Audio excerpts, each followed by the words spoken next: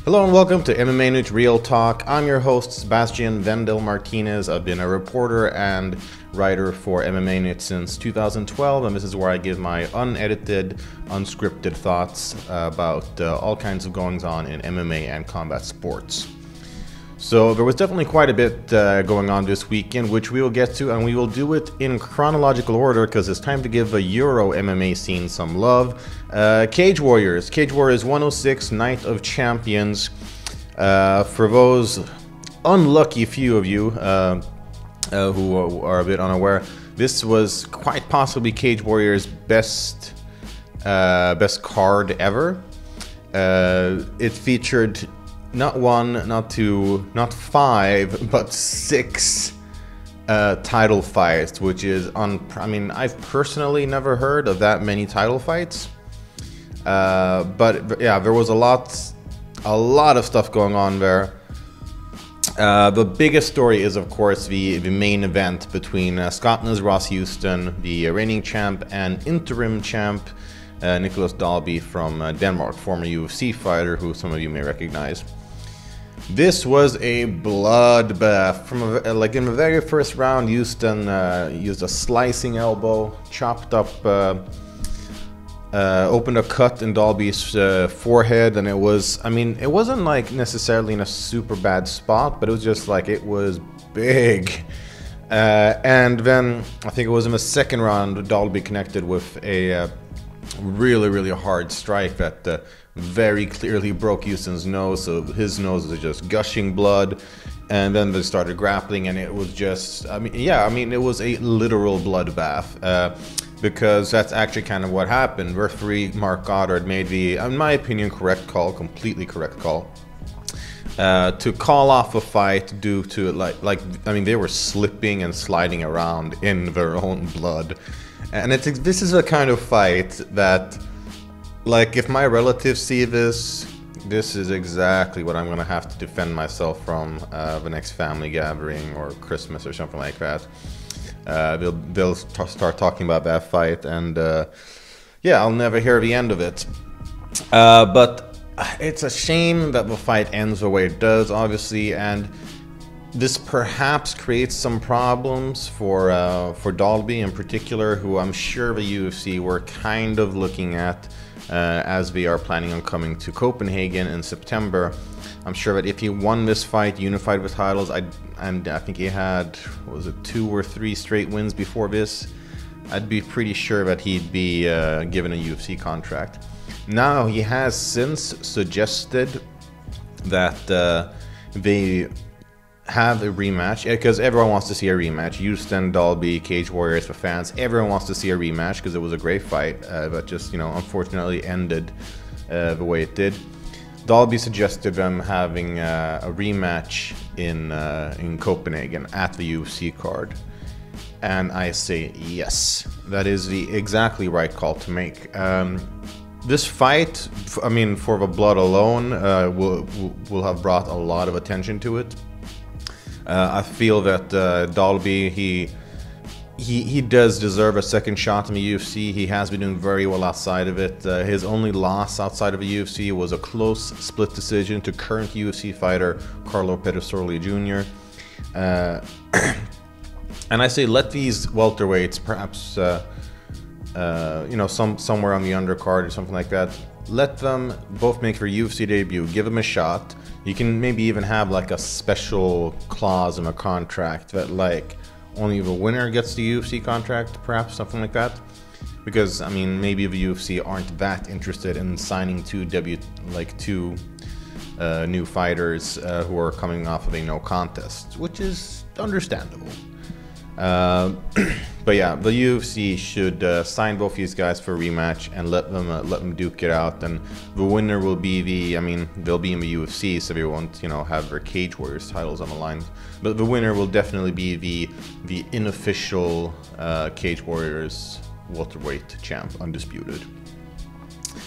Uh, aside from that, uh, Jai Herbert, wow, you know, coming into this co-main event, the the vacant lightweight title was on the line. It was Jack Grant between Jai Herbert. I've seen Jack Grant uh, fight a couple times before.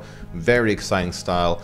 I know that Cage Warriors were very high on him too, and I think this is the fight that we kind of like thought that uh, Ove would build up uh, Grant as the next star.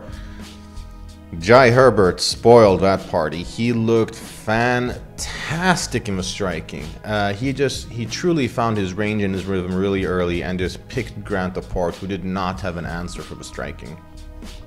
Uh, another Dane, Mads Burnell, also former UFC fighter, uh, he lined up his third straight submission victory uh, when he tapped out the former champion Dean Trueman with a Japanese necktie, his second straight Japanese necktie victory. Uh, Burnell looked fantastic. I think he's a very hot candidate for uh, coming back to the Copenhagen card, uh, the UFC Copenhagen. I would actually be surprised if they don't re-sign Mads Burnell because sure he lost two out of his three fights in the UFC, but his third loss, I mean, he was dominating the fight against Arnold Allen, who's a you know a really hot contender, uh, who's fighting Gilbert Melendez this week. Uh, and it was one of those. I mean, Arnold had it gone to a decision, uh, Allen he would have lost, uh, you know, easily. Uh, Burnell he made a, a, stupid mistake and, and he paid for it. But I think it's weird if the UFC would cut him despite such a strong performance. Either way, I think Burnell would be, uh, will be coming back to the UFC uh, for the Copenhagen card.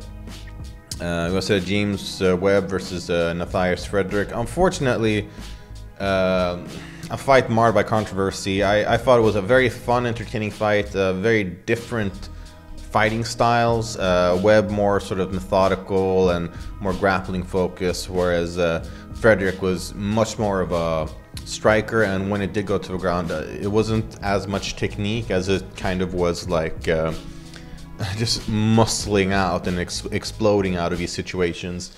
Uh, he did pile drive Webb, which ended up uh, getting a point deduction, and then his behavior towards the referee Mark Goddard I thought was pretty, pretty bad too. Uh, we also had Samir Faiddine knock out uh, Sam Creasy to win the flyweight title, and we had Lithuanian Modestas Bukauskas defeat Norwegian Martin Hamlet uh, via strikes from fourth round to claim the vacant light heavyweight title. And so, yeah, I mean, Cage Warriors, it's free on Fight Pass, I'm pretty sure. So if you're not watching it already, be sure to, I mean, check it out. It is a quality promotion that's produced stars like Michael Bisping, Dan Harding, uh, Dan Hardy, Joanna Jędrzejczyk, Conor McGregor, perhaps. Um, so I would definitely say keep your guys' eyes on Cage Warriors because I do think we will see some future UFC stars come out of there sooner rather than later. Moving on, we had. Uh, uh, UFC on ESPN 3, also known as UFC Minneapolis. Francis Ngannou, uh, wow, I mean, that guy has scary power, scary power. Uh, I mean, I, I did uh, pick uh, Junior Dos Santos to win this fight, as I'm sure people will be very quick to remind me of.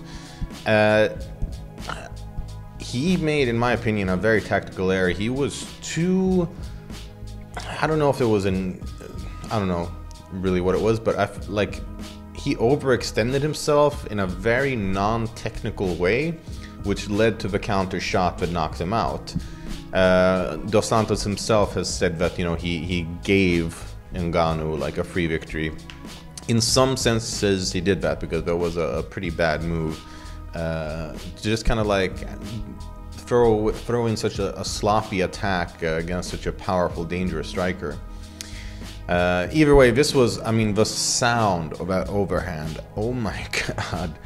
I am so glad that I am not a UFC heavyweight because, I mean, fighting Francis Ngannou, it's like, it's like fighting death. I mean, good luck.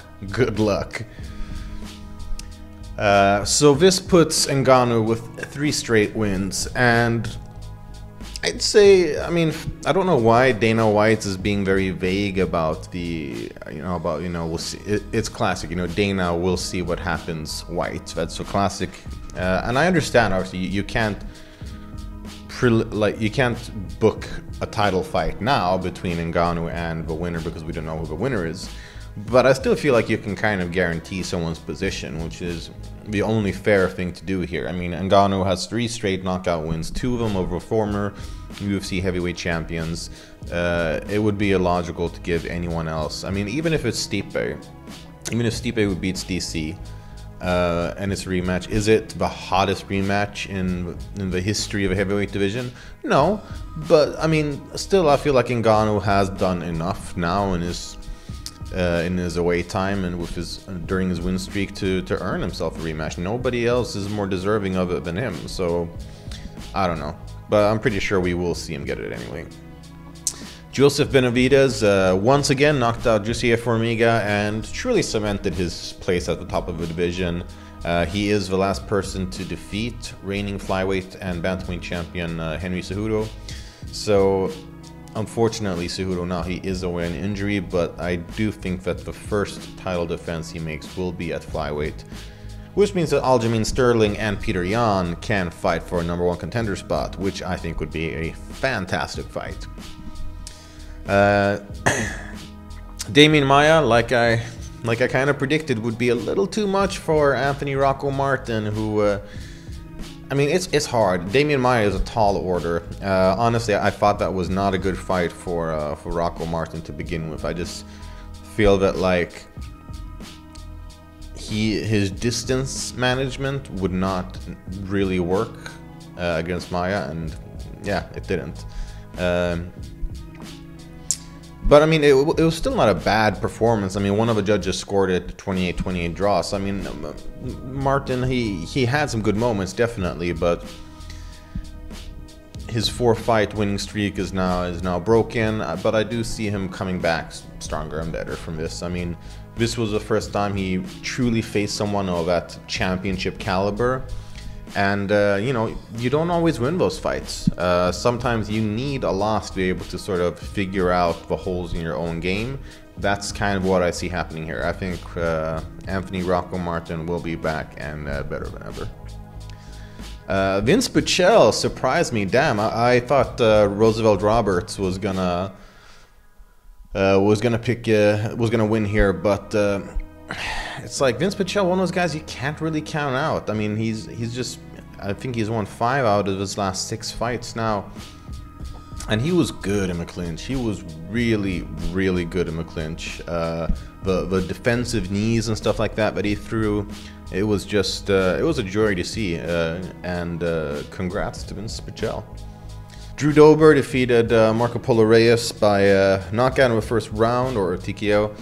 Again, like I thought, I mean, Polo Reyes, he, he kind of leaves himself a bit open. I feel he's a a little bit on the sloppier side, and I just felt that Dober was. I mean, he's a powerful guy. You can tell if you just look at his jawline, you can tell he's, he, you know, he packs a lot of power. And uh, you know, I'm not sure which spinning back kick is worse, Chris Weidman's or Paul Craig's, because, ugh, you know, just don't throw spinning back kicks just like that because it's way too easy to get countered if you do it carelessly. Alonzo Menifield, uh, I was at least right in picking there. Uh, he finished uh, Paul Craig via brutal knockout. I will say though that the extra shot afterward from Menifield was was reprehensible. Uh, I thought that was really. I mean, he, it was even after that Herb Dean dove in.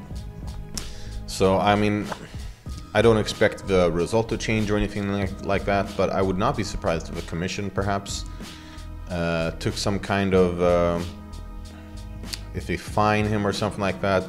I would actually be okay with that because that extra shot that he threw after that Dean had clearly stopped the fight, it, it was it was bad to see, and. Uh, yeah, I mean, regardless, Craig, he seemed okay afterwards, so I mean, it's not necessarily a big deal. But you don't want to see stuff like that in MMA. I mean, if a if referee has, you know, dove in and stopped stopped the fight, then stop the strikes. I understand, you know, you're caught in a moment. It's very easy to get stuck. This is just his, uh, I believe, second fight in the UFC, so he's still a little bit new. He's still getting used to some of that. Uh, so let's perhaps give him the benefit of a doubt. Uh, Ricardo Ramos uh, picked up win over Journey Newson. Your boy Eric Anders got exactly what he needed. Uh, he knocked out uh, Vinicius Moreira in the first round, and nice to see him return to the win column. I mean, he has had a a tough run. This broke a three fight losing streak for him, uh, and he's just a fun character. You know, he's uh, he's up to you know he's always up for a good scrap, whether it's in his best interest or not. Uh, so yeah, overall, uh, very fun event. Uh, Jared Gordon also had a, a, a, really good win over Dan Moret uh, and a very good post-fight speech, which I would recommend checking out. So, who should some of these guys fight then? I mean, I've already made it pretty clear that I feel Ngannou and uh, Benavidez really have done enough to, you know, earn their uh, uh, earn their title shot. But that still does leave us with a couple of others. I mean, we've got Demian Maia, for example, who beat uh, Anthony Rocco Martin. If take a look at the rankings, uh, Demian Maia is ranked on at 12th place and there's not a lot of like obvious uh, fights for him. Uh, I mean, I guess we could say maybe uh, his countryman Elizeu Zaleski dos Santos, uh, who is has looked really, really, really good. Uh, I gotta say. I don't believe he's booked for a fight. Let's see here. Yeah, that's right. He's coming off of a very quick win over uh, Curtis Millender. And uh, yeah, I mean, I would say, why not uh, Santos versus uh,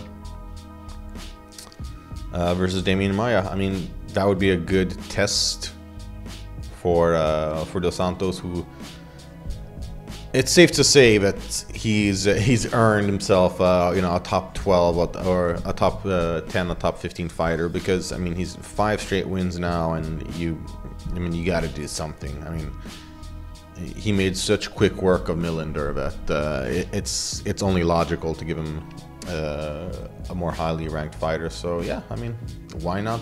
Why not Maia? I'd be down for that. We also have. Right. Vinc Pichel and Drew Dober. You know, why not let those guys fight it out? Uh, they're both lightweights, uh, both coming off of wins. Uh, both had losses previously. Yeah, I, I, it's kind of staring me right in the face, but uh, yeah, why not uh, Vinc Pichel, Drew Dober? I think that could be a really fun fight. I'm in Alonzo Menifield. Oh, light heavyweight, you know, it's it's an interesting time in light heavyweight because it's very easy to get moved up the ranks, very easy to fall out of them. It's, I feel like there's a lot more space there when we're in like talent stacked divisions, like you know, welterweight, featherweight, lightweight. Is it time to give him someone in the top 15? Mm, I don't know. I still I still feel like there's a lot of very strong and like promising uh, light heavyweights on their way up. I mean, the, the three biggest ones who uh, uh, I, have mentioned several times Johnny Walker, Alexander Rakic, and uh, Dominick Reyes are the three up and coming. Uh, uh, three up and coming sort of like rising stars in light heavyweight. That's the way I see it. And someone like that, I would probably be, be a little bit better reserve. I mean, Misha Cirkunov could be an okay fight, but he's actually booked for a fight in uh, UFC Vancouver. So let's just take a quick look at the UFC light heavyweight division, see if we can find a you know a proper, good uh, opponent for Alonzo Menifield. He's a 2-0 now. You know, Ryan Spann would not be a bad idea. He's also coming off of a quick knockout over uh, Antonio Rogerio Nogueira.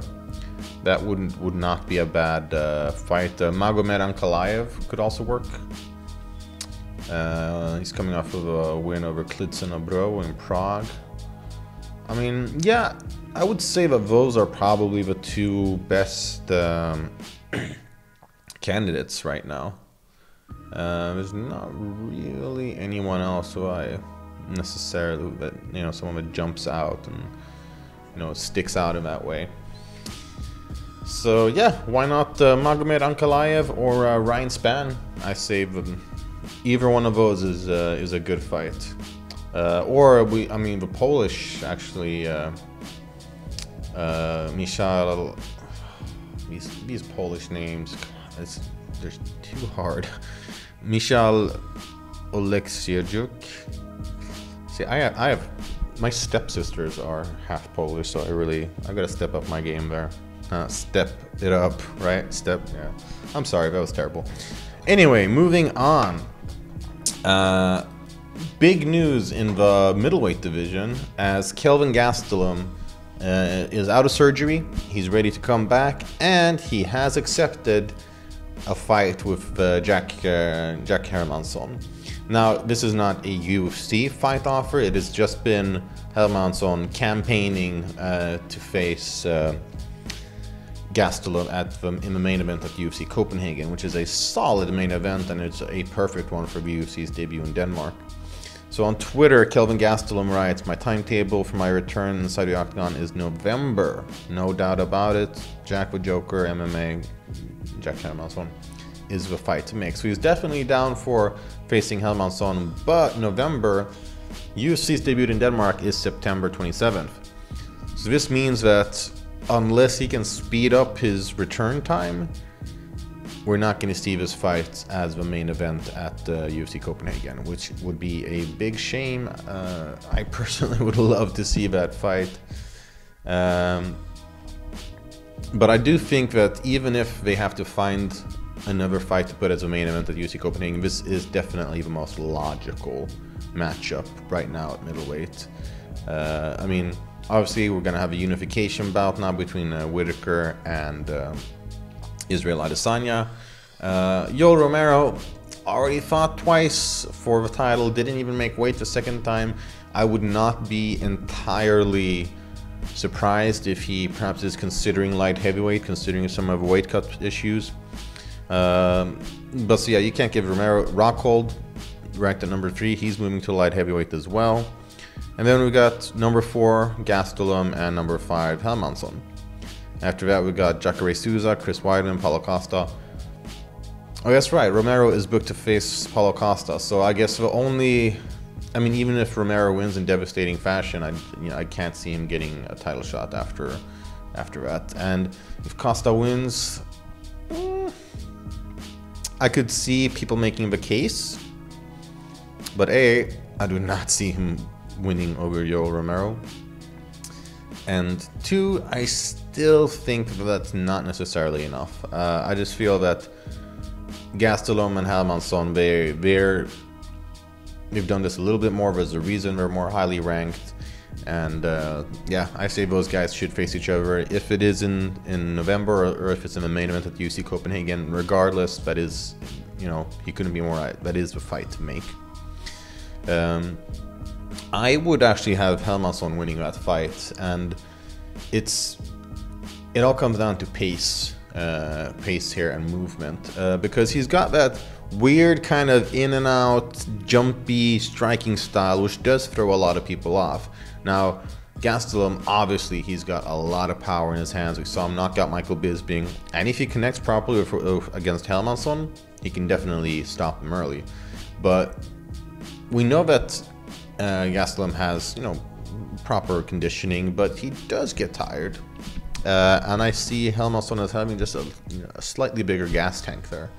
Uh, I think that the grappling will be interesting because while I think that Gastelum probably has slightly better wrestling, uh, at least when it comes to takedowns, I'd say when it comes to submission ability, Jack Hermansson is more dangerous. I mean, he was close to tapping out Jacare Souza, who's one of the best grapplers in the entire UFC. Uh, so I think this would be a close fight. It would be a tough fight. I'm actually not super happy about it because I like really like both of them, and I don't want to see them lose uh, or see one of them lose. But uh, yeah, I, I, think that is the fight to make, and I do think Hermansson actually comes out on top there. We saw now latest, I mean, short notice against Jacare Souza what he could accomplish. I think uh, it's time, that uh, yeah, we're gonna see the Joker shoot to the top. And uh, yeah, so those were pretty much the biggest stories uh, for today, Monday, the 1st of July. Uh, thank you so much for watching. Let me know who you guys think wins between Hermansson and Gastelum. Who do you think uh, some of the winners at UFC uh, Minneapolis should face, and so on. Let me know what you think. Maybe a special topic we should talk about in the future. I'm very open to that kind of stuff as well. And uh, yeah, so this was Sebastian Martinez, MMAnytt, here with MMAnytt Real Talk, and I'll catch you guys next time. Bye bye.